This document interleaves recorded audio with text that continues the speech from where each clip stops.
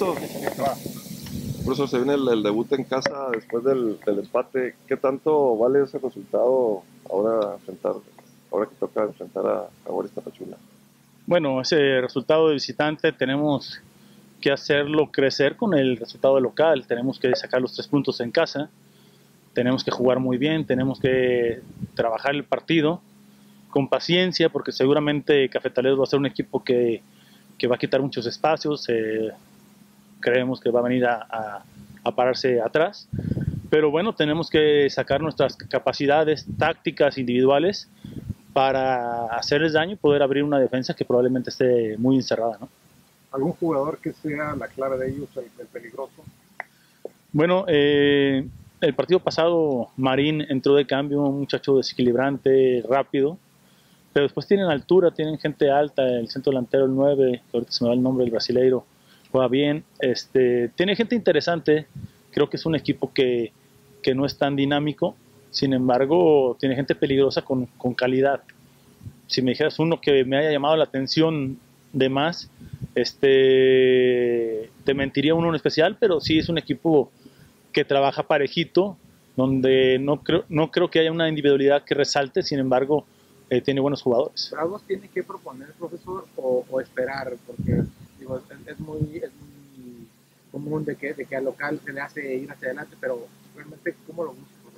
Mira, vamos a, intentar agobiarlos, este, quitarles el balón, tener la posesión nosotros, pero también tenemos que ser inteligentes. Si no encontramos espacios y estamos chocando contra una pared de dos líneas de cuatro y no podemos eh, encontrar espacios para explotar nuestra habilidad, que es la, la, velocidad o el, el, el, encare, entonces a lo mejor tenemos que dejarlos salir un poco para, para después encontrar espacios. Eso lo va a ir dictando el partido y el marcador, ¿no? Si nosotros logramos conseguir un gol en los primeros minutos, seguramente el otro equipo va a intentar agredirnos y ahí se van a encontrar los más espacios, pero las estrategias van cambiando conforme el tiempo del partido y conforme el resultado. Miguel Fuentes eh, le, ha tocado estar en plazas como, grandes, como la, inclusive jugar contra como Atlante, como el mismo Necaxa, pero eh, la experiencia de dirigir aquí, ¿cuál es la que espera, profesor?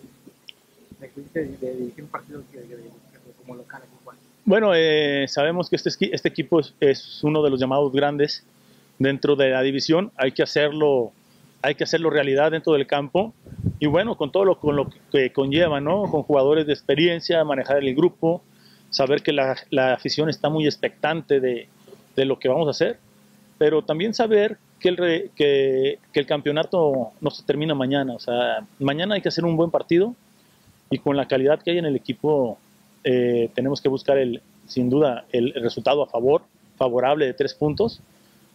Sin embargo, eh, tampoco desesperarse, o sea, eh, no salirnos de nuestro esquema de juego, de, nuestras, de nuestra filosofía y cómo vamos a plantear el partido, porque querer ganar en casa, sí como, sea como sea.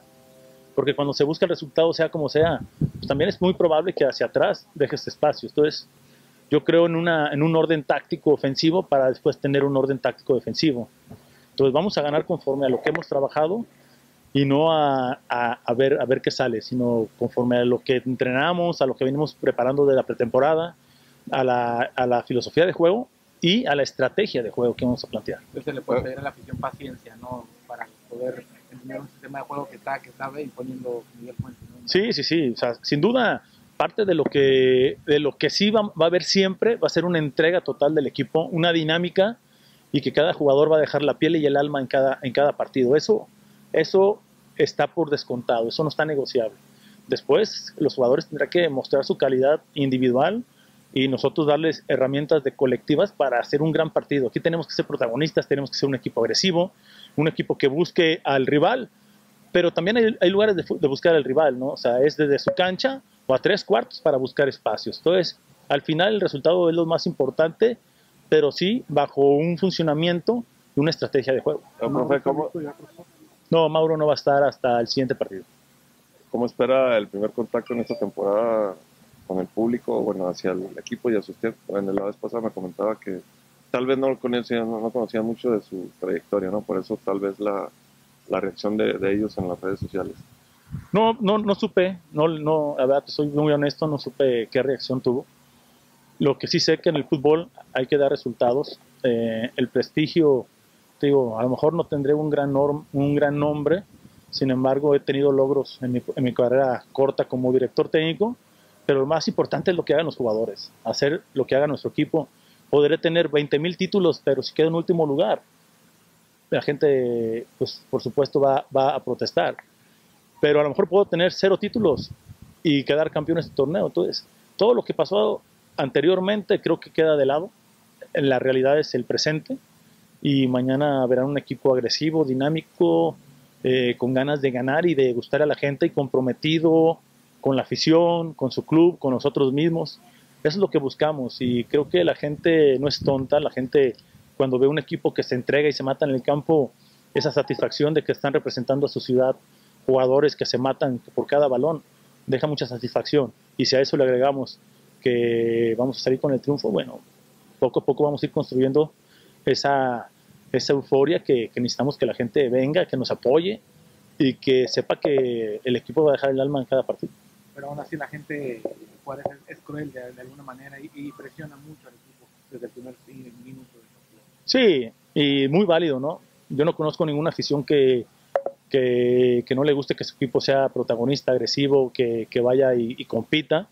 Sin embargo, tenemos los que estamos adentro de, y, y los muchachos que están jugando, tienen que no dejarse llevar por esa, por esa ansiedad que haya del exterior porque el rival también cuenta. Si nos jugáramos contra, contra unos eh, maniquís, pues sería más fácil, ¿no? Pero también el rival cuenta, se prepara y, tiene su estrategia para venir a plantear un partido, seguramente no dejarnos espacios, pero ahí donde tiene que entrar la paciencia inicialmente de nuestros jugadores para saber cuándo atacar, por dónde, dónde hacerles daño, y también, digo, la afición que tenga esa paciencia porque Creo que les pasó el torneo pasado, donde los equipos se metían muy atrás y no había espacios. Hoy estuvimos trabajando en cómo encontrar esos espacios con un equipo que se, que se arme bien atrás. Sin embargo, son 90 minutos donde el resultado al final cuando empieza el árbitro es lo más importante, ¿no? Puedes meter gol en el primer minuto y luego no tener una llegada, o puedes ganar el partido en el último minuto, o puedes tener muchas llegadas en todo el partido, entonces no sabemos cómo se va a presentar.